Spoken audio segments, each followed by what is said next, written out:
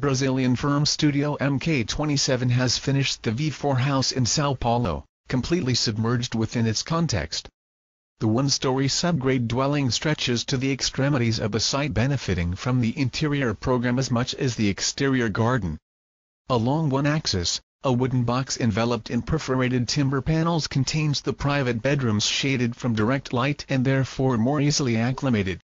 A vast exposed concrete roof mass with integrated beams extends perpendicularly disappearing into the natural stone retaining wall defining the property line, doubling as an exterior deck on grade.